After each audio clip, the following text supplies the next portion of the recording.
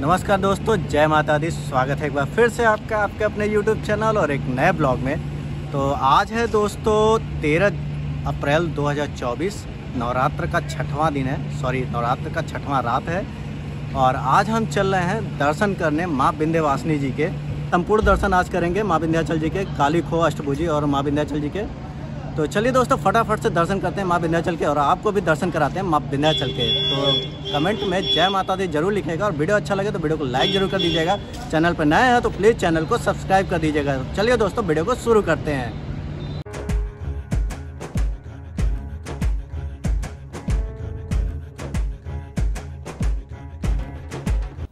अभी दोस्तों हम चलेंगे नर्मदा नदी के शीतल जल में स्नान करेंगे। स्नान करने के बाद हम चलेंगे, दर्शन करेंगे माँ विंध्यवासिनी जी के, माँ विंध्याचल जी के।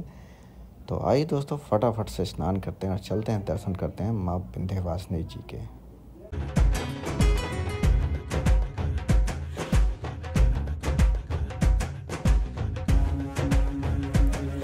तो अभी दोस्तों हम पहुँच चुके हैं नर्मदा नदी के तट पर, जो कि मंदिर के जस्ट बगल में ही है। और अभी दोस्तों यहाँ पर पक्का घाट बन चुका है। काफ़ी अच्छा घाट बन चुका है। अगर बात करें कुछ महीने पहले या कुछ साल पहले की तो यहाँ सिर्फ़ और सिर्फ़ रेत हुआ करती थी, जिससे श्रद्धालुओं को स्नान करने में बड़ी ज़्यादा दिक्कत का सामना करना पड़ता था। लेकिन अब दोस्तों ये यहाँ पर बहुत अच्छा पक्का घाट बन चुका है तो अब स्नान वगैरह करने में यहाँ पर कोई दिक्कत या परेशानी नहीं होती और अब साफ़ सफ़ाई भी यहाँ रहती है। तो फटाफट से स्नान करते हैं और चलते हैं, दर्शन करते हैं माँ विंध्याचल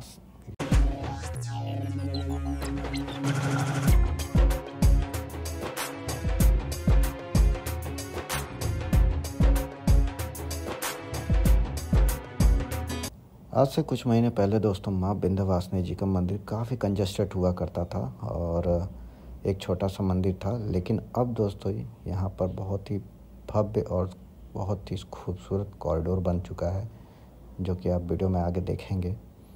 और अभी दोस्तों इस कॉरिडोर का ऑफिशियली ओपनिंग नहीं हुआ है इनोग्रेशन नहीं हुआ है।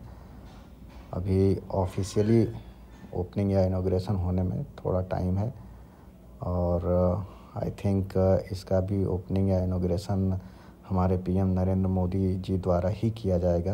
अभी दोस्तों माला प्रसाद लेने के बाद हम अंदर चलेंगे और दर्शन करेंगे माँ विंध्यवासिनी जी के। आइए दोस्तों आपको भी दर्शन कराते हैं माँ विंध्यवासिनी जी के। हम भारतीयों के दोस्तों एक बहुत बड़ी खासियत है कि हम बिना जाँच परख के कोई सामान नहीं लेते बिना जांचे परखे एक छोटा सा एग्ज़ाम्पल आप देख सकते हैं कि लोग नारियल भी ले रहे हैं तो उसे भी अच्छी तरह से जाँच परख रहे हैं। मतलब बिना जांचे परखे चढ़ाने के लिए नारियल भी नहीं ले सकते हैं हम भारतीय। तो चलिए दोस्तों, माला प्रसाद ले चुके हैं। आगे बढ़ते हैं और दर्शन करते हैं माँ विन्यवासिनी जी के।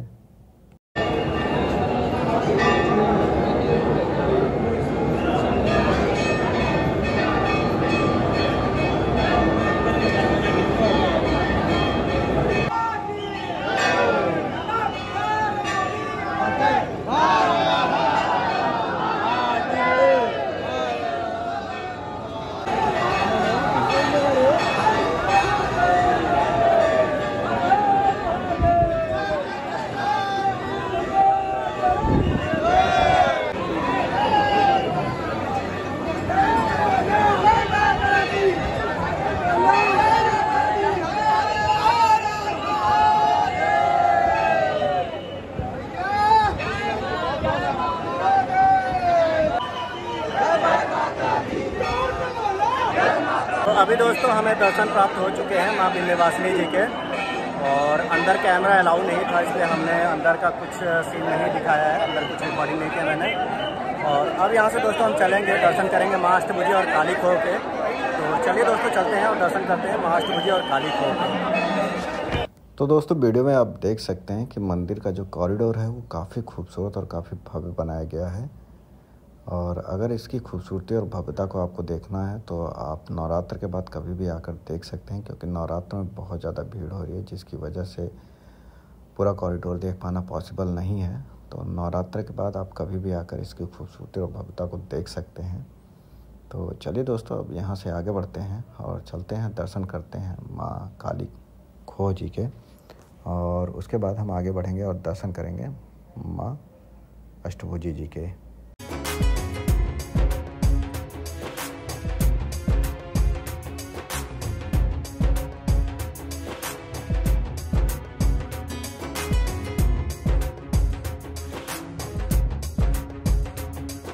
अभी दोस्तों हम आ चुके हैं दर्शन करने माँ अष्टभुजी के दरबार। और चलिए फटाफट से दर्शन करते हैं माँ अष्टभुजी के और इसके बाद हम चलते हैं दर्शन करने माँ काली खो के।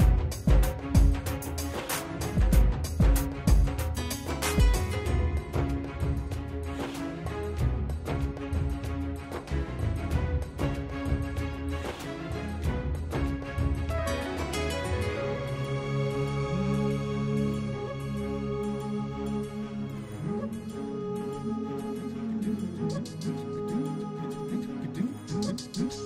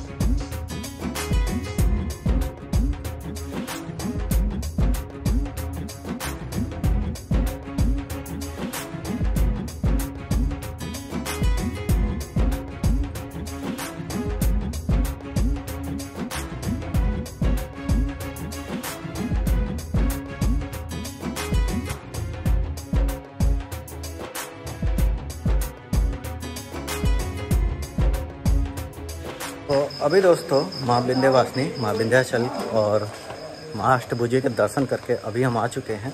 दर्शन करने माँ काली खो के तो चलते हैं दोस्तों, दर्शन करते हैं माँ काली खो के और आपको भी दर्शन कराते हैं माँ काली खो के